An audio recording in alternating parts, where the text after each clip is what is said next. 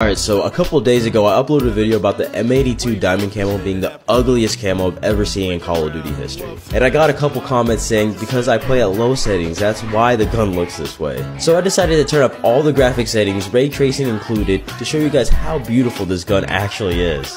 And you know what? I was wrong, this gun is now beautiful.